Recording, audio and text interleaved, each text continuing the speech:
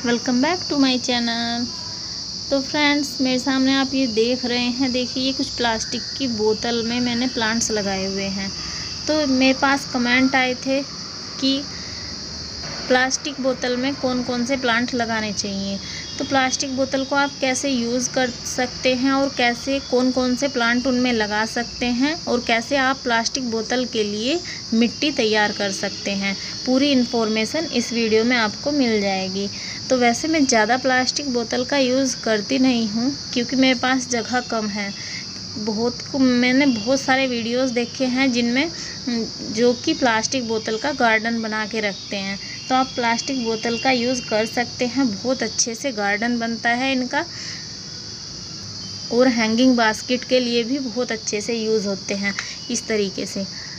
तो जिनके पास स्पेस ज़्यादा होता है हैंगिंग बास्केट की तरह यूज़ करने के लिए जगह ज़्यादा होती है तो उनके लिए ज़्यादा बेटर है प्लास्टिक बोतल आपका फ्री में ही एक पोट तैयार हो जाता है घर में हैंगिंग बास्केट के लिए। तो इनमें आप कौन कौन से प्लांट लगा सकते हैं, उनके नेम्स आपको बताऊँगी। तो सबसे पहले तो आपको इनमें मिट्टी कैसी रखनी होनी चाहिए? तो मिट्टी आप इनमें ऐसी रखिए जिससे आप कि प्लास्टिक बोतल ज़्यादा भारी ना हो। अगर प्लास्टिक बोतल ज़्यादा भारी होगी तो वो गिर जाएगी। तो आपको करना क्या है, आप इसमें एक हिस्सा कोकोपीट लीजिए और एक हिस्सा आप इसमें रेत लीजिए। वर्मी कंपोस्ट थोड़ा आप उसमें फर्टिलाइज़र की तरह यूज़ कीजिए। तो वर्मी कंपोस्ट और कोकोपीट और रेत, ये तीन चीज़ों का मिक्स आप करके प्लास्टिक बोतल के लिए मिट्टी बनाइए। बहुत अच्छी मिट्टी बन जाएगी। कोकोपीट से प्लास्टिक बोतल में जो हम मतलब मिट्टी तैयार करेंगे कोकोपीट उसे सूखने नहीं देगा और रेत ज़्यादा भारी नहीं होने देगा प्लास्टिक बोतल को और वर्मी कंपोस्ट खाद की तरह हमारे इसमें सोइल में तैयार हो जाएगा।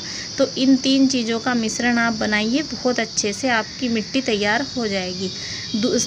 सबसे दूसरी ज़रूरी बात आपको ड्रेनेज होल प्लास्टिक बोतल में बहुत अच्छा रखना है।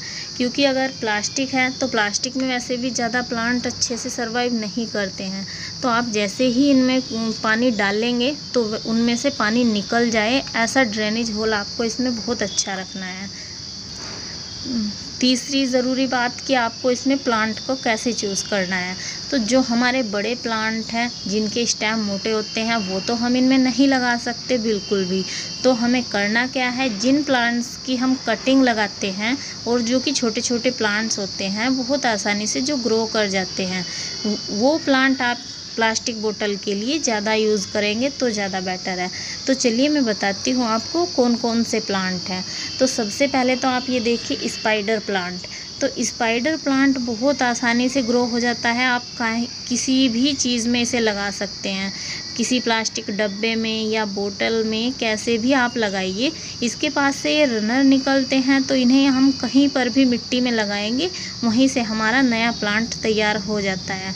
तो आप इसे भी प्लास्टिक बोतल में लगाइए, बहुत अच्छा प्लांट है। और दूसरा प्लांट है हमारा जेड प्लांट जेड प्लांट ये प्लांट हमारे ऐसे भी हैं जिनमें पानी भी कम चाहिए होता है। तो प्लास्टिक बोतल में रोज़ रोज़ पानी डालने की बजाय आप ऐसे प्लांट लगाइए जिसमें पानी भी कम डलेगा। तो ये भी हमारा इंडोर प्लांट है, इसमें पानी कम डलता है। एक दिन छोड़ के, दो दिन छोड़ के आप डाल दीजिए, ख़राब नहीं होने वाला।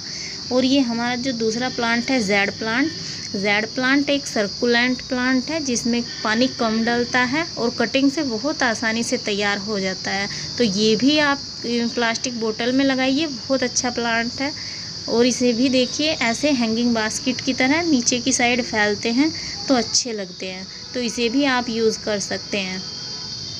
और तीसरा हमारा देखिए यह है पोरचूल का गुले दोपहरी भी बोलते हैं इसे। तो ये मैंने इसमें कुछ कटिंग्स लगाई थी और देखिए बहुत अच्छे से ग्रो हो गई हैं। तो ये मैंने इस तरीके से कुछ डेकोरेट किया था। ये कलर मेरे पास ऐसे ही पड़े थे बेकार में। तो इसे भी आप ऐसे लगा सकते हैं।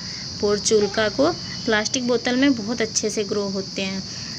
प्लास्टिक बोतल का तो गार्डन बनता है, बहुत प्यारा, जिसके पास ज़्यादा स्पेस होता है। और ये फोर्थ नंबर पर है हमारा वेंडिंग जियो वेंडिंग जियो इतना अच्छा प्लांट है कि बहुत अच्छे से किस, आप इसे किसी में भी लगा देंगे, उसी में ही तैयार हो जाएगा। तो ये देखिए, छोटी सी प्लास्टिक बोतल ही है और इसमें कितने अच्छे से ये प्लांट बिल्कुल तैयार हो रखा है। तो वेंडिंग जियो में भी आप बहुत कम केयर का प्लांट है, पानी कम डालिए, बहुत अच्छे से ग्रो होता रहता है। तो इस तरीके से देखिए, आप इसे भी लगा सकते हैं। फाइव नंबर पर आएगा हमारा। Money plant. तो मनी प्लांट देखिए, प्लास्टिक बोतल में ही मैंने लगाया हुआ है और कितने अच्छे से इसकी ग्रोथ हो रखी है। हैंगिंग बास्केट के लिए बहुत अच्छा प्लांट है, मनी प्लांट भी। तो आप मनी प्लांट को भी प्लास्टिक बोतल में ऐसे यूज़ कर सकते हैं। ये देखिए। इसके बाद नेक्स्ट प्लांट आएगा हमारा। बेबी सनरोज़ तो बेबी सनरोज़ भी प्लास्टिक बोतल में बहुत अच्छे से सर्वाइव करता है। इसमें भी पानी की मात्रा कमी होती है तो आप इसे भी प्लास्टिक बोतल में लगाइए। हैंगिंग बास्केट की तरह बहुत अच्छे से नीचे की साइड फैलता है और बहुत सुंदर भी प्लांट लगता है। छोटे छोटे इस पर फ्लावर आते हैं। ये देखिए रेड कलर के। बेबी सनरोज़ बोलते हैं इसे। तो इसके बाद नेक्स्ट हमारा प्लांट आएगा। बेबी टीयर्स तो बेबी टीयर्स की भी इतनी से इतनी कटिंग लग जाती है, ये भी आप प्लास्टिक बोतल में लगा के ऐसे फैलाइए, बहुत अच्छे से फैलता है। और सबसे अच्छी बात है, इन प्लांट्स की केयर कम होती है और इनमें पानी कम डलता है। तो ऐसे ही प्लांट आपको ज़्यादा यूज़ करने चाहिए प्लास्टिक बोतल के लिए, जो कि कम केयर के हों और पानी कम के हों।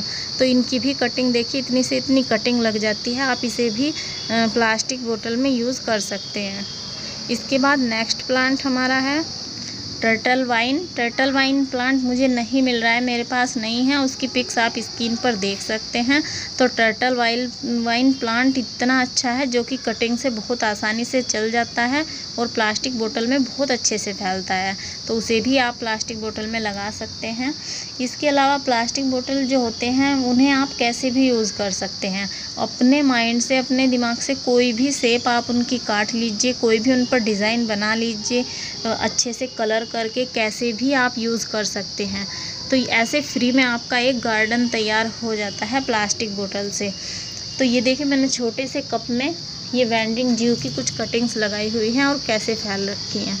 तो बहुत अच्छे से वेंडिंग जीव फैल जाता है, कम केयर का प्लांट है। इनमें सिर्फ़ आपको करना क्या है, जैसे ही हम प्लास्टिक बोतल में अपना गार्डन बनाते हैं तो उसमें हमें हर दस दिन में आपको मतलब लिक्विड बना के डालते रहना चाहिए। लिक्विड आप किसी भी खाद से बना सकते हैं। जैसे कि हमारा गोबर की खाद हो गई तो आप उसे पानी में घोल के अच्छे से हर दस दिन में वो आप इनमें डालते रहिए, या फिर वर्मी कंपोस्ट हो गया, उसे भी पानी में घोल के आप उसे डालते रहिए पानी इनमें तो बहुत अच्छे से आपके प्लांट प्लास्टिक बोतल में चलते रहते हैं। तो फ्रेंड्स, ये आई होप आपको मेरा ये वीडियो पसंद आए। और पसंद आए तो प्लीज़ लाइक और शेयर ज़रूर करें। तो इस वीडियो में इतना ही। Thank you so much. Bye bye.